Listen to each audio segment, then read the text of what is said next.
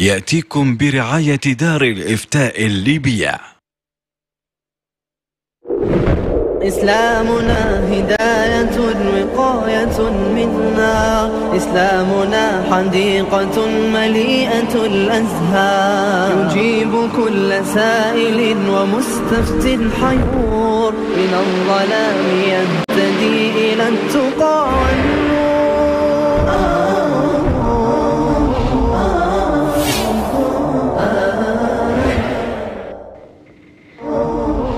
الحمد لله والصلاة والسلام على رسول الله. السلام عليكم ورحمة الله وبركاته. مرحبا بكم أيها الإخوة المشاهدون في هذا البرنامج برنامج الإسلام والحياة الذي يجيب فيه أصحاب الفضيلة العلماء على أسئلة المشاهدين. ضيفنا في مثل هذا اليوم سماحة المفتي فضيلة الشيخ الدكتور الصادق بن عبد الرحمن الغرياني حفظه الله تعالى ونفعنا بعلمه. فباسمكم جميعا نرحب بفضيلة الشيخ. مرحبا شيخنا السلام عليكم. شيخ صادق. وعليكم السلام ورحمة الله. حياك الله يا شيخ عبد الله. وحيا الله السادة المشاهدين والمستمعين الكرام. عليكم السلام ورحمة الله وبركاته. آه ننوه الإخوة المشاهدين بأن آه هذه الحلقة تبث صحبة آه قناة النبأ الفضائية. جزاهم الله خيرا. كما نذكر بأرقام الهواتف وهي كالتالي أرقام هواتف البرنامج 021 33 47 401 021 33 47 402 021 33 47 403 يمكنكم أيضا التواصل عبر صفحات التواصل الاجتماعي الظاهرة أسفل الشاشة يمكنكم كما يمكنكم متابعتنا على البث المباشر على صفحتنا في الفيسبوك.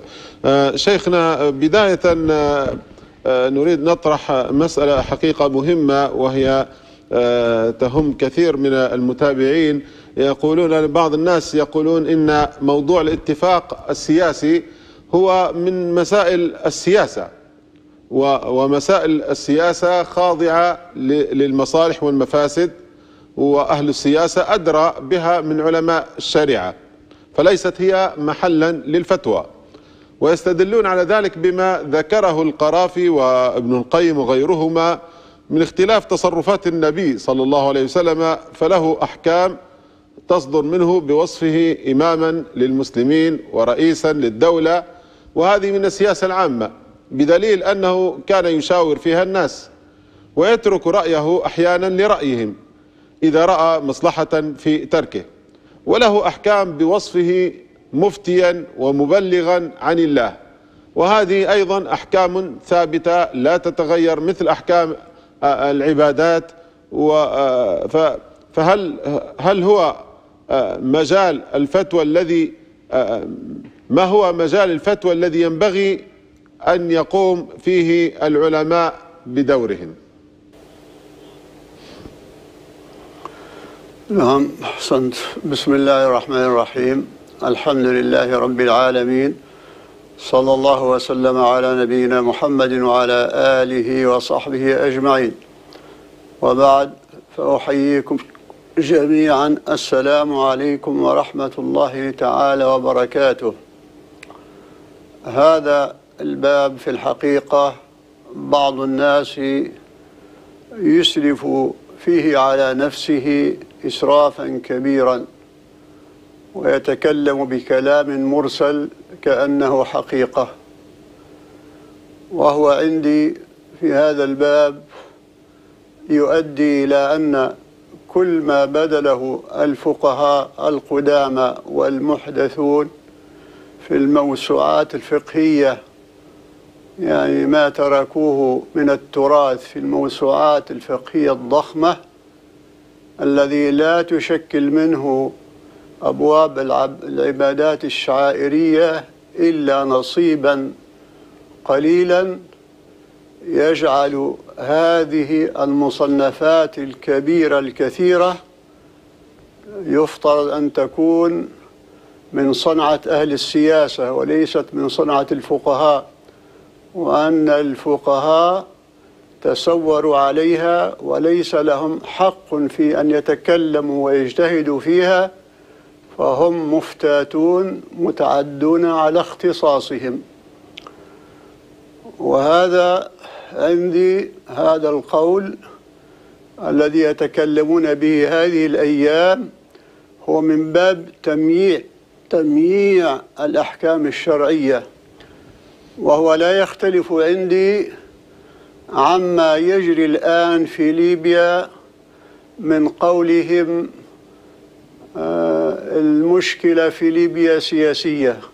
كلما ألزمتهم بحكم من أحكام القانون أو حكم المحاكم يتهربون منه ويقولون الموضوع في ليبيا سياسي.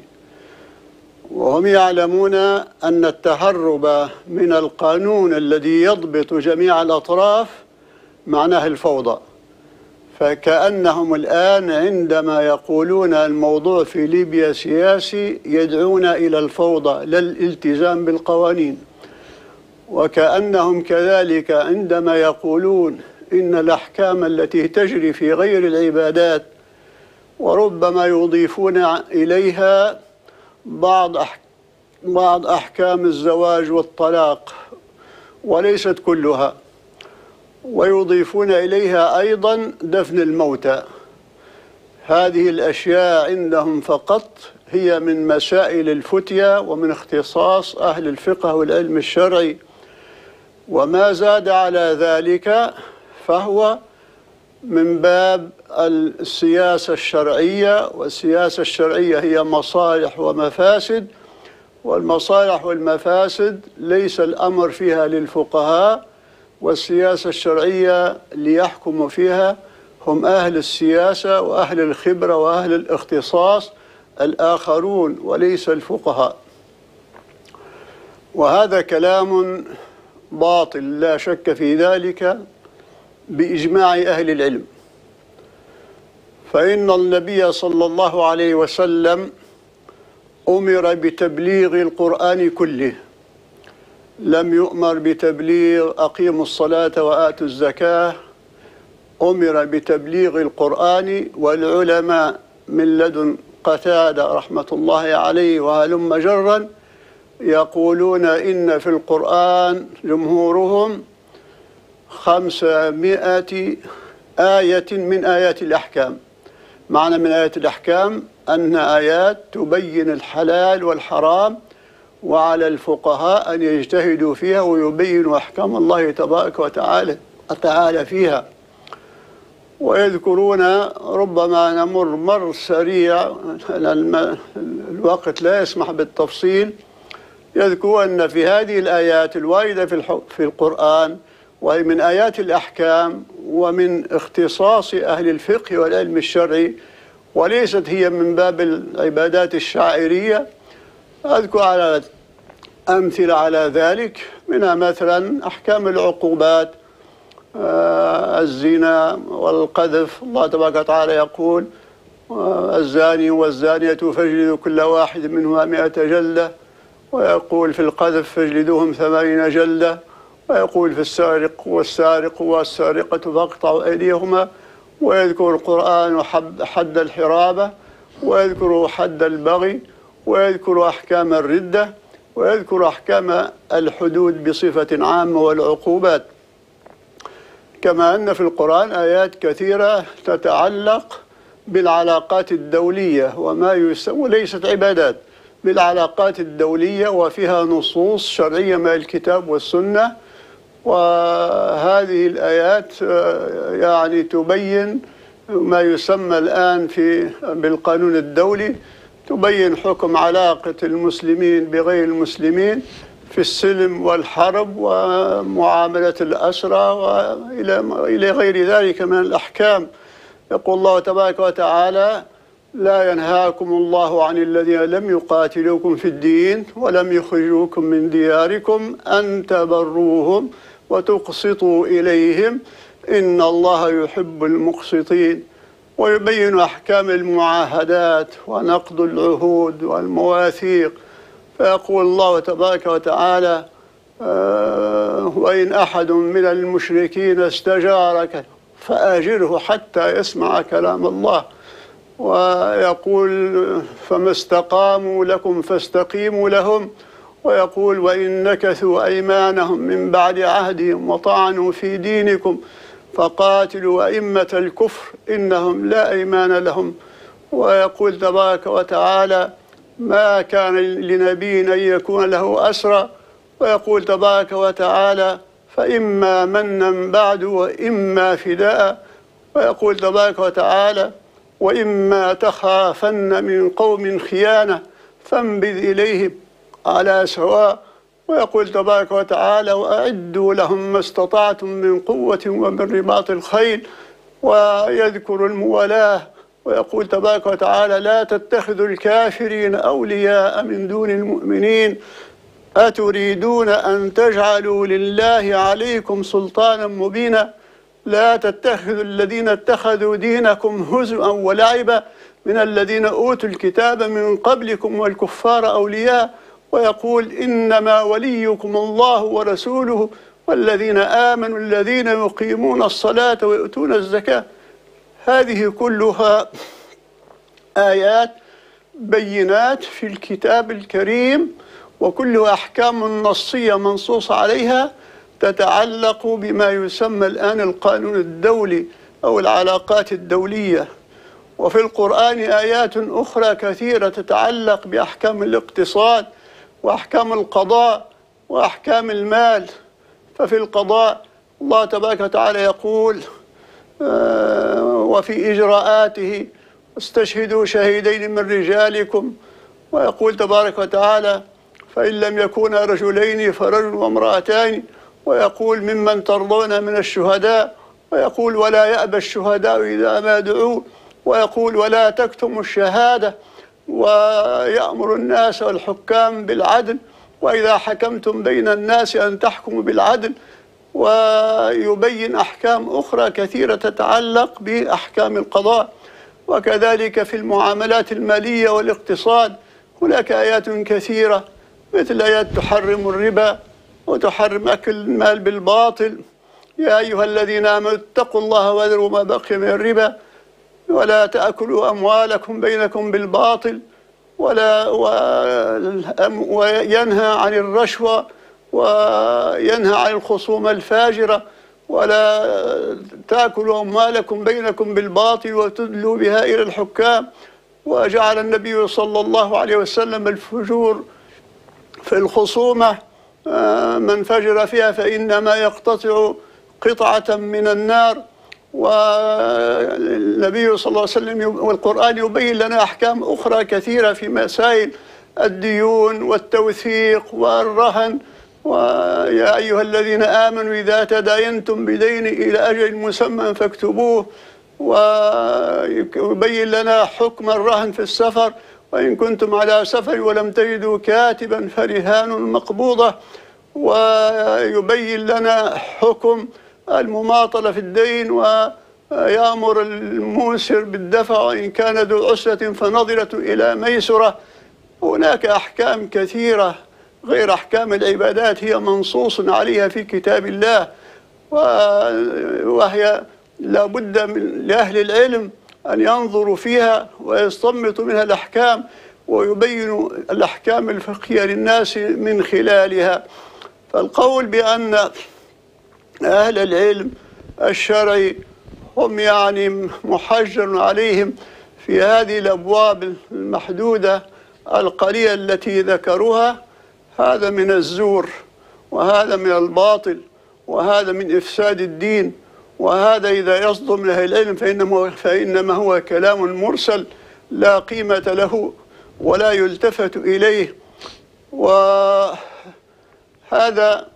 من ناحية أن الأحكام المتعلقة بالفقهاء وعلماء الشريعة أنها هي يعني مختصة بأبواب معينة ولا يحل لهم ولا يجوز لهم أن يدخلوا ويتكلموا في أبواب المال وأبواب السياسة وأبواب الاقتصاد وأبواب العلاقات الدولية هذا كلام غير صحيح لأن آيات القرآن تنطق بذلك.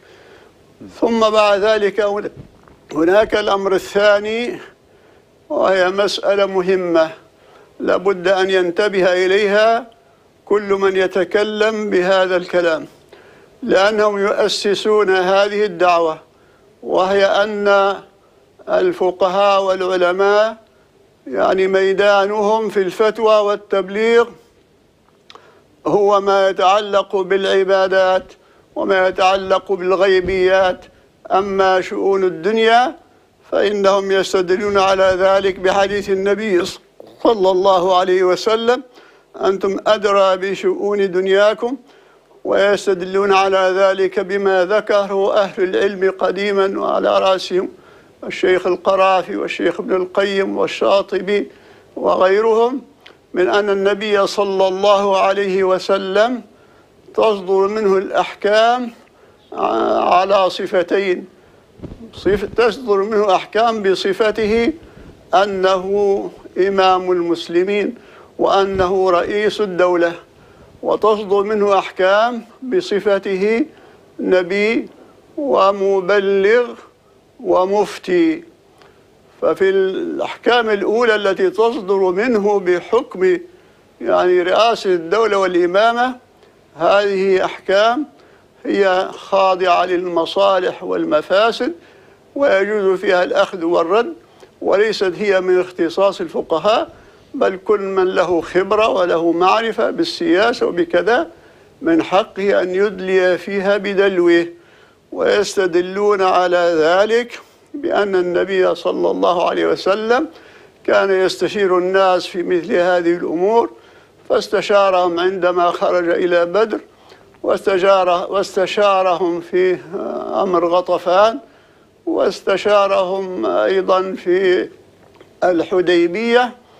فهذا قال وهذا يدل على أن ما كان من هذا القبيل من السياسة العامة والمصالح العامة فإن الناس من حقهم هم الذين يقولون ما يرون فيه مصلحة وليس للفقيه ولا للشيخ ولا للمفتي أن يقول هذا القول. وهذا والله كلام باطل لا يصح. وأنا أتحدى عندما أقول هذا القول من يأتيني ببين على خلافه. أقول لهم النبي صلى الله عليه وسلم عندما استشار قومه في أمور من مصالح الدنيا مصالح الغزو والحرب والقتال والشورى وغير ذلك. ما صفته بالله عليكم؟ ما صفة هذا النبي الكريم؟ النبي الكريم وصف الله تبارك وتعالى بقوله لتبين للناس ما نزل إليهم وهو أعلم الناس بالحلال والحرام وهو يعني أفقه الناس وأعلمهم بأحكام الله. فعندما يراجعه الناس في أمر ثم هو يأخذ برأيهم. هل الحكم هذا استقر بفعل أو بقول أولئك الناس ولا استقر وصار حكما شرعيا بإقرار النبي صلى الله عليه وسلم له ورضاه به؟ لا شك أنه ما استفاد ما استفدنا منه أنه حكم شرعي ولا أحد يستطيع أن يرده. إلا لأن النبي صلى الله عليه وسلم أقره لأن النبي صلى الله عليه وسلم لا يقر على خطأ فالله عز وجل عصمه من ذلك وهو يرعاه ويبين له الصواب إن حصل منه خطأ. فإذا راجعنا مرة أخرى في أحكام المصالح والمفاسد والسياسة الشرعية إلى قول سيد الفقهاء ليس إلى عامة الناس لم نرجع فيه إلى الخبير. الاقتصادي وإلا رئيس الحزب ولا رئيس الحكومة رجعنا فيه إلى من قال الله تبارك وتعالى فيه لتبين للناس ما نزل إليهم وهو أعلم الناس على الإطلاق بالحلال والحرام هذا فيما يتعلق برسول الله وذلك لا حجة لهم فيما يحتجون به من مسألة الحديبية وغيرها لأن ذلك هو حكم من النبي صلى الله عليه وسلم. ما أخذه واستفاده من الخبرة هذا لا ننكره ونحن أيضا لا ننكره الآن. وكل العلماء الذين يتصدون للمسائل الشائكة هم الأصل فيهم أنهم يستفيدون من أهل السياسة ومن أهل الخبرة ومن أهل الطب ثم بعد ذلك عليهم الحكم الشرعي لا يبينونه إلا هم لأنهم هم أهل الاختصاص. أما ما صدر بعد ذلك من الخلفاء من أبي بكر الصديق وعمر وعثمان وعلي رضي الله تعالى عنهما فإنه صدر عنهما باعتبارهما ولاة أمور توفرت فيهما شروط ولاة الأمر. والشرط الأول من شر- شروط ولاة الأمر لو تطلعوا على أبواب السياسة الشرعية والأحكام والقضاء ولاية الأمر الشرط الأول فيها أن يكون ولي الأمر من أهل الاجتهاد. من الفقهاء الذين بلغوا درجة, درجة الاجتهاد. فالخلفاء الأربعة أحكامهم يعني آه، تؤخذ على أنها حكم شرعي لأنهم من أهل هذا الاختصاص. عندما رجع عمر أو رجع أبو بكر إلى قول الناس أو غير حكما من الأحكام مثلا عطل حكم إقامة الحد وإلا آه، في عام المجاعة وإلا قال شيئا آخر فيما يتعلق بمسألة المؤلفة قلوبهم كل ذلك أقول له هذا اجتهاد من صاحب الاجتهاد من خوله الله عز وجل بذلك وأهله لذلك ولذلك رجع رجعنا إلى حكم أهل الاجتهاد والفقه ولم نرجع إلى أهل السياسة. ولذلك القرآن يقول ولو ردوه إلى الرسول وإلى أولي الأمر منهم لعلمه الذين يستنبطونه منهم. ردوه إلى أولي الأمر الذين هم من أهل الاجتهاد هم أهل الاختصاص. ولذلك نرى بعدما تغير الحال وصار يتولى ولاية الأمر من هو من أهل الفقه ومن ليس كذلك تغير الحال. أعطيكم مثالين أو ثلاثة واضحين. فمثلا عثمان رضي الله تبارك وتعالى عنه لأنه من أهل الاجتهاد ومن فقهاء الصحابة عندما اجتهد في منى ولم يقصر الصلاة واستغرب منه بعض الصحابة وعبد الله بن مسعود يعني في أول أمر استنكر هذا الأمر وقال مخالفا للسنة ثم سرعان ما رجع. وعلم لأن عثمان رضي الله عنه خليفة راشد وأنه عالم وأنه يتكلم عن فقه ورجع وقال الخلاف شر. لكن بعد ذلك عندما تولى خلفاء وأمراء ليست لهم هذه الصفة آه، مثلا نبدأ مثلا من خلافة وإمارة معاوية رضي الله تعالى عنه في الشام آه، حدث له مع أبي الدرداء رضي الله تعالى عنهما أن معاوية كما في الصحيح وفي الموطأ وغيرهما أن معاوية رضي الله تعالى عنه باع يعني آنية من ذهب بأكثر من وزنها. فأنكر عليه أبو الدرداء وقال له إن النبي صلى الله عليه وسلم نهى عن ذلك. قال الأمير وهو الوالي وهو الحاكم وهو السياسي قال له لا أرى بأسا بذلك. ماذا كان الجواب؟ هل قالوا لا هذا حكم سياسي وحاكم فيه الساسة ونقبلوه لا. قال أبو الدرداء مغضبا قال أقول لك نهى النبي صلى الله عليه وسلم عن ذلك وتقول لي لا أرى به بأسا والله لا أساكنك في بلد أنت فيها. وخرج من الشام وذهب إلى عمر بالمدينة وأخبره بذلك فكتب عمر إلى معاوية أن النبي صلى الله عليه وسلم نهى عن ذلك ولا تفعل مثله وكذلك أعطيكم مثالا آخر مروان بن الحكم كان واليا على المدينة وحتى هو استعمل السياسة الشرعية وما يسمى المصلحة. معلوم أن صلاة العيد الصلاة قبل الخطبة هذه السنة.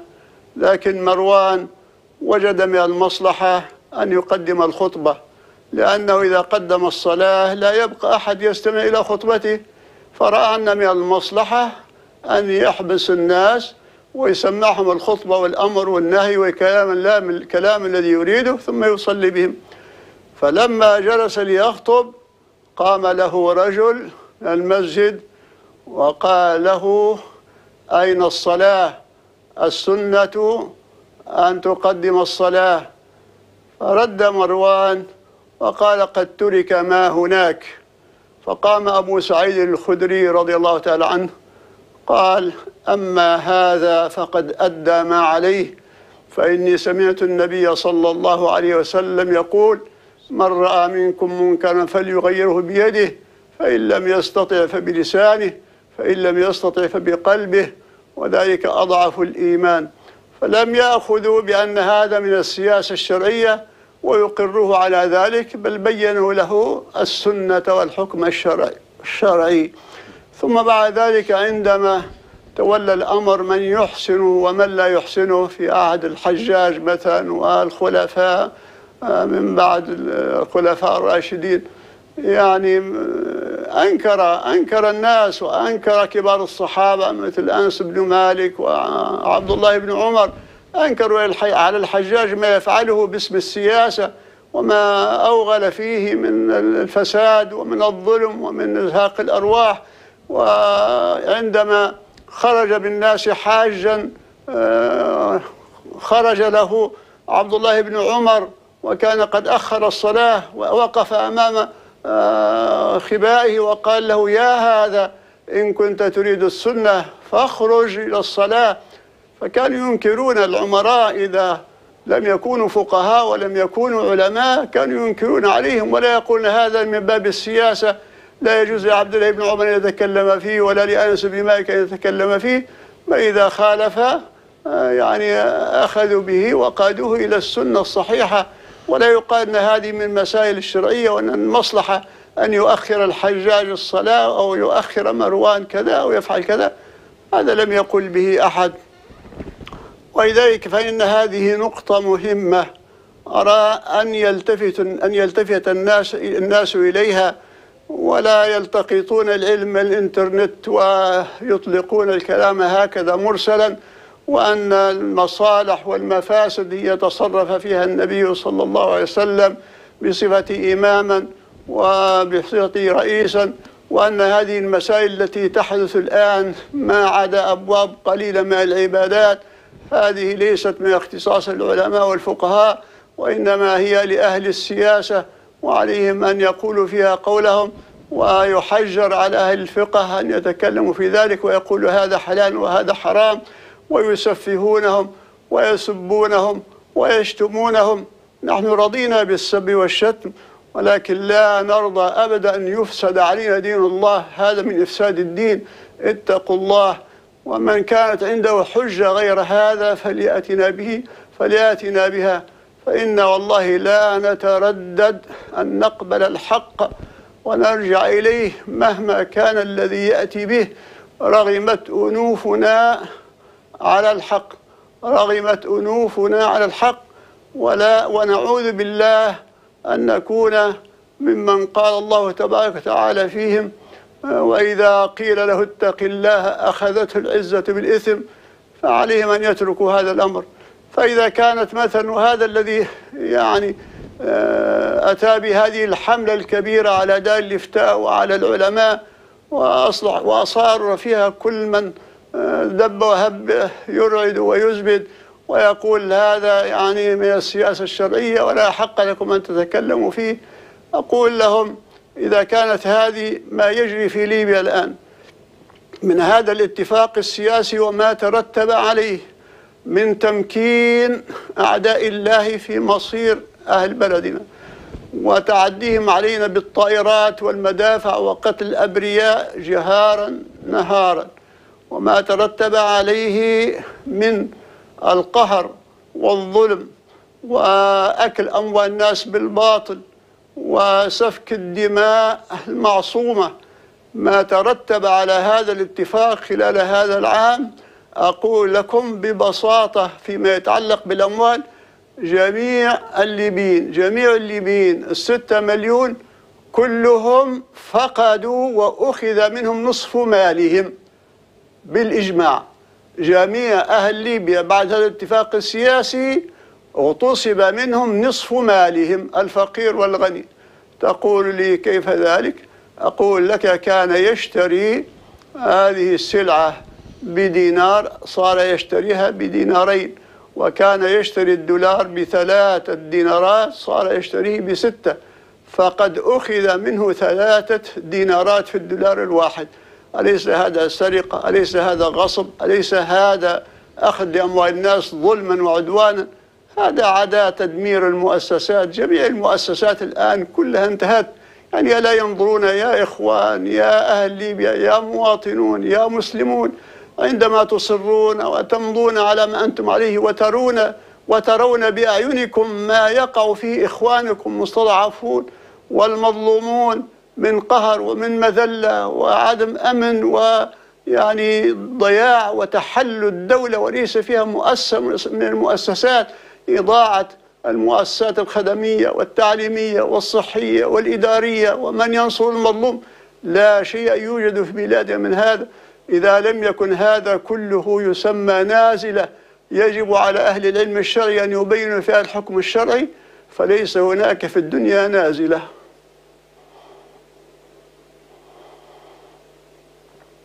بعض الاتصالات. نعم. لو سمحت يا شيخنا آه، معي الأخت صابرين من طرابلس. ألو السلام عليكم. عليكم السلام ورحمة الله. عليكم السلام. حفظ الله الشيخ الغرياني وفاد به البلاد والعباد إن شاء الله بإذن الله. آمين. أنا عندي سؤالين بالنسبة لي السؤال الأول نعم. ومش مطلوب مش للشيخ باش يرد عليه نوجهه. بالنسبة للسؤال الأول ما هي الصفة الشرعية وأي صفة قانونية لل- للأخ المدعو جمعة القماطي ولا نوري العبار ولا الابله فاطمه اللي مجتمعين اليوم المجتمعين المدة اللي فاتت في مدينة الحمامات وقرروا بالنيابة على الشعب الليبي آه، شنو المفروض يديروا. هم لا يملكوا لا صفة لا شرعية ولا منتخبينهم إلا إنهم مجرد إنهم عندهم أموال أو أصحاب حزب كونوا لنفسهم حزب هم مجرد اللي داروه إنهم أسقطوا جسم شرعي منتخب انتخب الشعب الليبي في 2012 والعمل اللي داروه هم هم أسقطوا الشرعية وطولوا المرحلة الانتقالية للبلاد. أنا نعم. نبي نسألهم بأما صفة أنتم تقرروا علينا إحنا الناس المواطنين الناس طيب. العاديين، أي طيب. صفة قانونية ولا شرعية إلا طيب. اذا كان أنت عندك حزب هذا بفلوسك هذه حاجة تخصك أنت لكن مش طيب. من حقك تقعمزوا وتقرروا. السؤال نعم. الثاني بالنسبة للمجلس الرئاسي شنو الفرق بينك يا مجلس الرئاسي وبين ال ال ال- الإجراءات اللي دراها مجرد إنهم آه، اقتحموا المقرات هال- القرصنه نعم. يعني اعمال اعمال قرصنة. بأي حق تطالبوا إن المصرف الليبي المركزي يصرف لكم ميزانيه واقتحمتوا مح- مقرات واستوليتوا عليها وسميتوا روحكم حكومة نفاق لا وفاق. مجرد إنكم اجتمعتوا في مدينة مش في ليبيا في المغرب وقررتوا علينا. أعطوني اما صفه أما قانون استندتوا عليه. انكم إنتم ضربتوا القانون. وتبقوا الشعب الليبي حافظ يلتزم بالقانون وإنتم أول ناس خرقة القانون ضربتوا بالمحكمة الدستورية بقراراتها اجتمعتوا هل من حق أي مجموعة تجتمع في أي مكان نقول أنا من حقي نحكم ليبيا بالطريقة هذه؟ نعم. والأبلة اللي اسمها فاطمة هذه مجتمعين طيب، بالمرة طيب. الليبية شكرا. نسألهم بأي نفس الطريقة؟ بأما شكرا. بأي صفة أنتم تجتمعوا وتكلموا علينا بالنيابة عن المرأة الليبية. وشكرا يا شكرا شيخ. شكرا شكرا. آه، آه، معي الأخ رياض. نعم الأخ رياض. تفضل. السلام عليكم. عليكم السلام ورحمة الله. مشكورين جدا على إتاحة الفرصة للمداخلة الطيبة تفضل. مساء الخير يا شيخ صادق. مرحبا. أنا رياض الشرشاري من سكان سلمان. و... وبك أكثر شيخ. آه، أنا والد لثلاثة أطفال مخطوفين لهم 14 شهر. نعم. قدمنا 22 شهيد في سبيل مكافحة الحرابة ومشكلتهم تقريبا في صومال المنطقة الغربية بسبب انهيار للدولة بالكامل في المنطقة هذه. وش أنا ما سمعتش صوت دار الإفتاء ولا تدخلات لدار الإفتاء؟ والمجرمين تقريبا اليوم آه، نشكر النائب العام في توضيحه للقضية واعتراف المجرمين الموجودين عنده. أولادي لهم 14 شهر. دار الإفتاء منظمات دولية تتبع في القضية. القنوات ال- ال- الفضائية بالكامل تتبع في القضية. الرأي العام بالكامل شغلات القضية. معقولة دار الإفتاء الشيخ الصادق؟ ما سمعناش صوتكم ما سمعناش تدخلكم. المجرمين معروفين 14 شهر ما سمع صوت دولة لا حكومة الوفاق ولا حكومة الانقاذ ولا الجماعة صراع الكرش على الوحدة. معقولة أبنائي عائلة كاملة رفعاه. ومجرمين ومعروفين ومن قبائل معروفة شيخ صادق معقولة قضية ما مرتش عليكم نهائي. نعم. وهي على مرة طيب، ومسمع الناس. وتقريبا قدمنا شهداء في القضية. نعم. آه تقريبا سامحني نبي يا آه، تدخل الشيخ الصادق في الموضوع شوية. لا. أخ رياض آه، لو تسمع للشيخ. لا لا. لحظة. هذا الكلام الذي تقوله يعني ليس موافقا للحقيقة.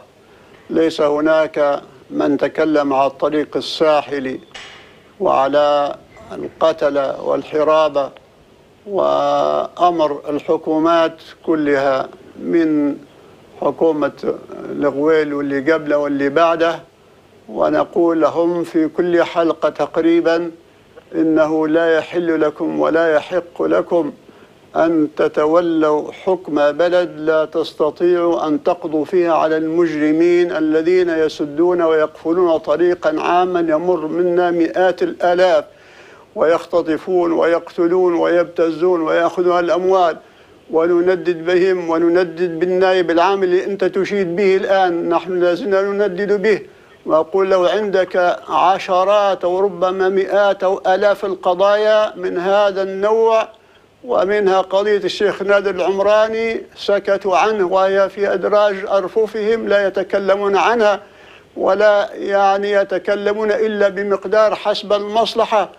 فدور النائب العام ومكتبه أو مشلول ولا ولا ينصر مظلوما. هذه هي الحقيقة المرة التي نقولها. يعني مئات أو آلاف من آه، عمليات الإجرام والخطف والقتل للأبرياء مرت هكذا ولم نسمع بكلمة واحدة. من أهل القضاء والاختصاص والنيابة في متابعة هذه المسألة أين قضية الشيخ نادر العمران التي هي بشهودها التي فيها تسجيلات أن الذين قاموا بالإجرام هم فلان وفلان وفلان والتدبير صار في المكان الفلاني والمسؤول عليه فلان الفلاني أين هي الآن؟ هل تكلم عليها النائب العام؟ هل خرجت؟ ولذلك نراك أنك ظلمت دار الإفتاء ولكن نقبل منك هذا لأنك إنسان محروق قلب يعني كبدك على أولادك. ونقدر نقدر هذا لا لكن لكن غير اسمعني يا أخي واسمعني يا ابني. غير اسمعني حتى لو أنت ظلمت لا تظلم غيرك. ودار الإفتاء في كل حلقة ربما أنت لا تتابع دار الإفتاء. هذا هو للأسف أن أكثر الليبيين لا يتابعون لا يتابعون ما تقوله دار الإفتاء. وإذا مس أحدهم ضير أو ظلم خرج في تلك اللحظة فقط وقال أين دار الإفتاء من قضية آه، تورغة أين دار الإفتاء من قضية ما أعرفش وين سرت أين قضية? مع أن دار الإفتاء في كل أسبوع هي تتكلم عنها لكن هو لا يعنيه دار الإفتاء إلا ما عندما يمسه الضر. أنا أريد من الليبيين كلهم أن يكون عندهم وعي ويعرفوا مصلحتهم ولأن زي ما يقولوا هم اللي يتغدى بأخوك يتعشى بيك. فالظلم نريد أن ندفعه عن كل الناس. ليس عليك أنت فقط بل على كل الناس.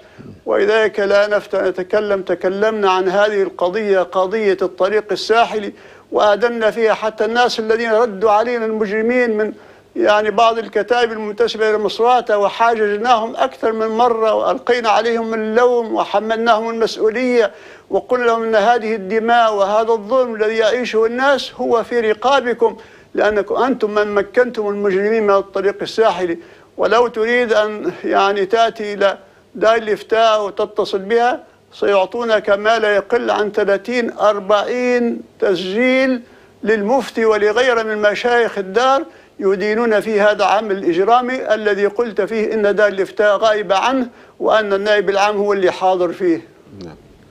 طيب. والله هذا اللي حصل أنا تو قدامي الشيخ صادق. أنا تو الآن آه، على رأيكم يعني ممكن أن نقتص بايدي لاني عارف المسلمين وموجودين وقاعدين يتجولوا في الطرقات ويتجولوا قدام المرأة ومسمع الجميع وكل أجب أجب يعني أجبتك أجبتك أجبتك وأنا أنا مع أنا معك وأنا ارى أن هذا الظلم يجب وضع حد ليه اليوم قبل غد وأن هذه الحكومة وأن الناس الذين هم الان يجلسون لتجديد الاتفاق السياسي هم يتحملون وزر ابنك وابن غيرك في رقابهم. طيب يا شيخ شيخنا ما ما حكم من يتستر على مثل هذه الجريمة جريمة أبناء الشرشاري اختطافهم ويدافع عنهم ويقف سدا منيعا من أخذ الحق من هؤلاء المجرمين؟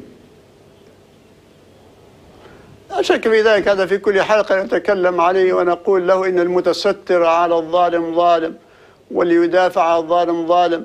والله تبارك وتعالى أمرنا أن نخلص أنفسنا من العصبية ومن الطمع ومن الانتماء إلى التعزز بالقوة وبالظلم وب وأمرنا أن نرجع إلى الحق وكل ظالم يجب على الناس أن يأخذوا على يديه أهل صرمان أول من يجب عليهم أن يأخذوا على يد الظلمة وأهل الزاوية الغربية وأهل جميل وأهل العجلات وأهل زنزور كلهم يجب عليهم لا يحل لهم كيف.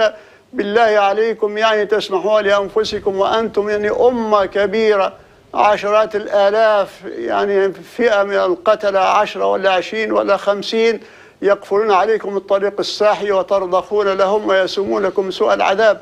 هذا من الظلم. لا يحل لكم وعلى الحكومة لا يحل لحكومة أن تجلس على كرسي وهي الظلم ولا تستطيع أن تؤمن للناس طرقهم طرقهم. يعني هذا أول واجبات أي مسؤول وأي من يتولى يعني المشهد السياسي ويزيد وينقص فيه ويمدد اتفاق ويفعل ويفعل أقول له أول أولى بك أن توجه جهودك إلى أن تفتح للناس الطريق الساحلي وتزودهم بالكهرباء وتنفس عليهم موضوع السيولة وترد عليهم الدولار إلى ثلاث دينارات أو أقل من ذلك تهون عليهم يعني لتنال أجر الدنيا والآخرة.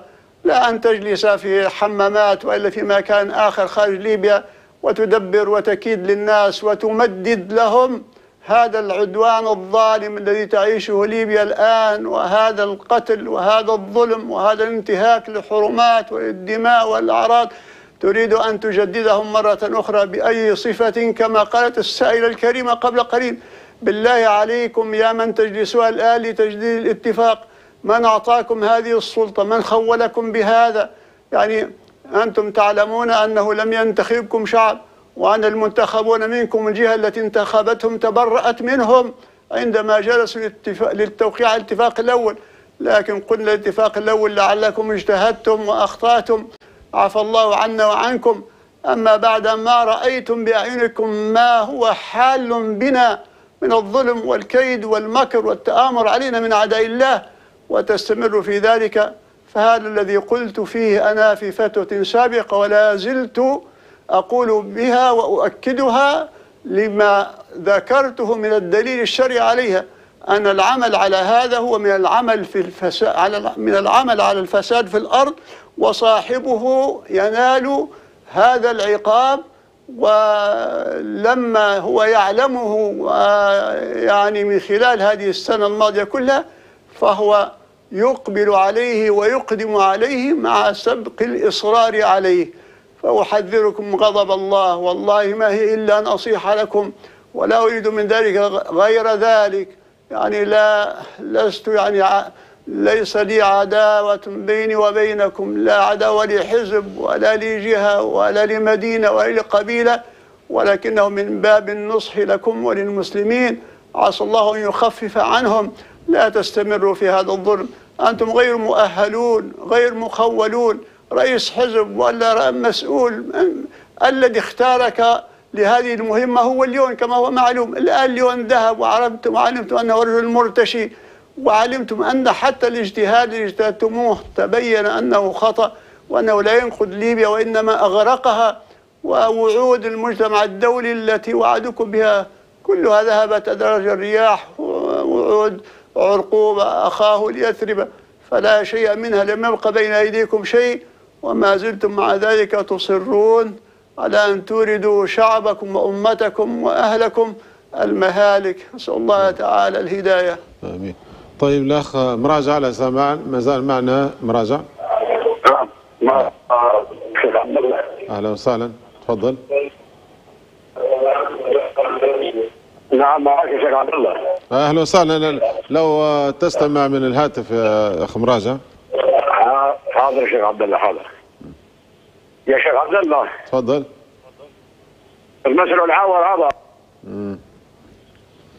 طيب آه، ربي يهديك إن شاء الله ويصلح حالك. آه، شيخنا جهاد أبو جهاد أبو جهاد طرابلس.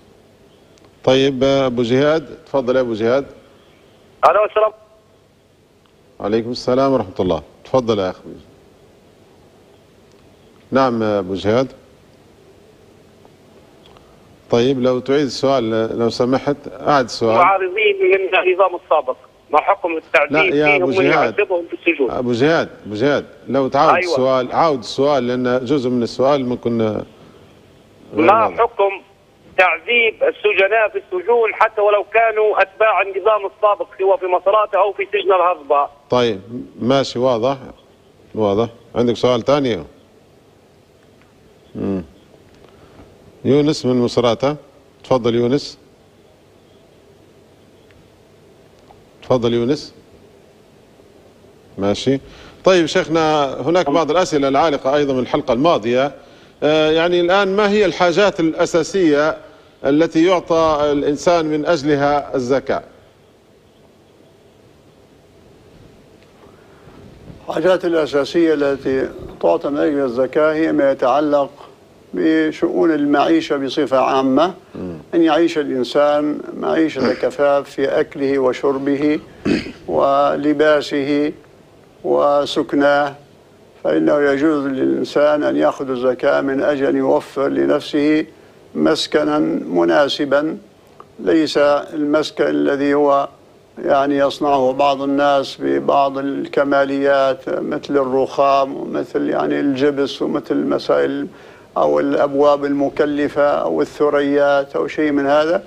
لكن ال- ال- البناء المعتاد بالطوب المعتاد والإسمنت من غير يعني تفاخر من غير رخام بأبواب يعني سوقية عادية.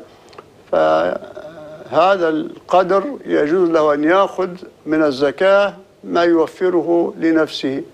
يبني بيت بهذه الصورة من الزكاة مهما كلفته فهذا جائز له لأن يعني ال- الملبس والماكل والمشرب والمسكن هذه من شؤون الإنسان الحاجية والتي تصل إلى حد الضرورة إذا كان اشتد عليه الكرب فيها. فالزكاة هي للفقراء. الله تبارك وتعالى يقول إنما الصدقات للفقراء والمساكين وهذا من أهل الفقر لأنه لم يستطع أن يسد حاجته. و- نعم. طيب آه، أيضا الأخ معاذ من طرابلس آه، يسأل عن الدكتور في الجامعة يقول يغش آه، الطلبة وهذا الدكتور يظن أنه يغش يعني بنسبة معينة 10% يقول يعني ما متاثرش في نسبة النجاح.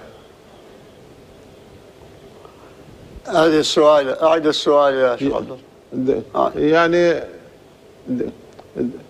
الدكتور آه، في الجامعة يعني يغش الطلبة يعني حتى يبين لهم لحظة يغش الطلبة بنسبة معينة يقول إن هو آه، إذا كان الطالب عنده 60% ممكن يغشها في 10% يعني هو النبي صلى الله عليه وسلم يقول من غشنا فليس منا. فالغش كله حرام. ولكن هذا إذا كان يعني يقول إنه يغش غشا قليلا فهو يعني يسميه حراما قليلا يعني وليس حراما كثيرا. لكنه لم يخرج عن دائرة الحرام.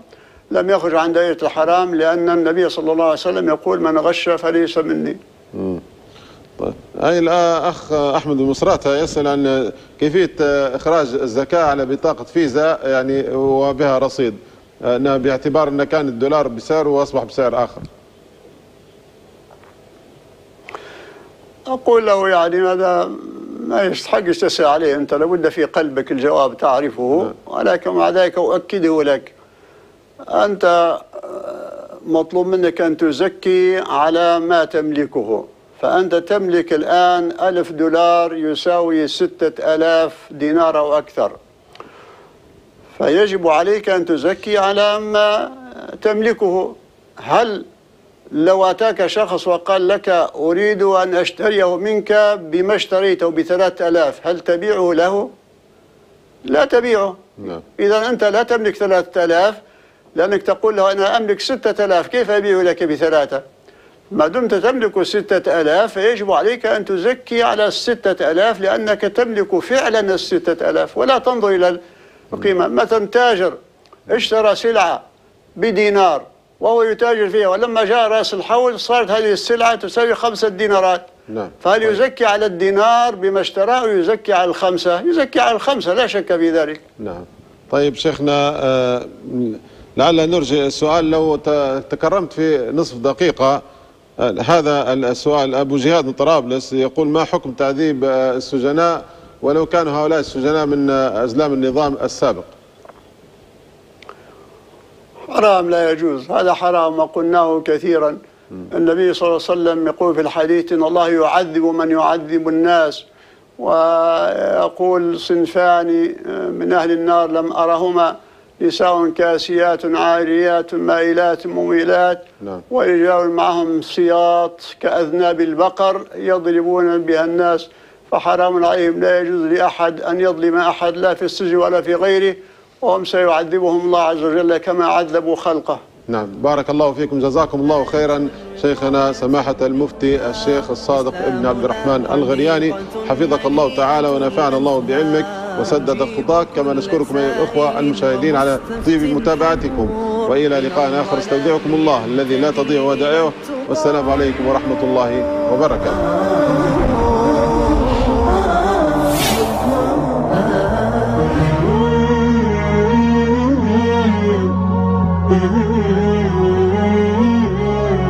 تشاهدون إعادة هذه الحلقة. يوم غد في تمام الساعة الخامسة وخمس دقائق فجرا ويعاد عند الثانية عشر وخمس دقائق ظهرا.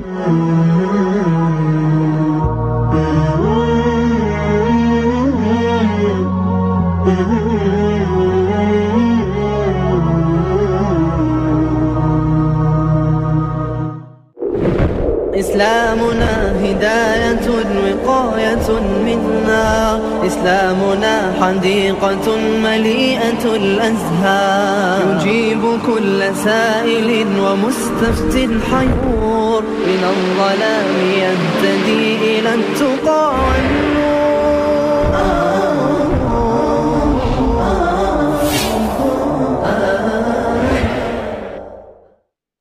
هذا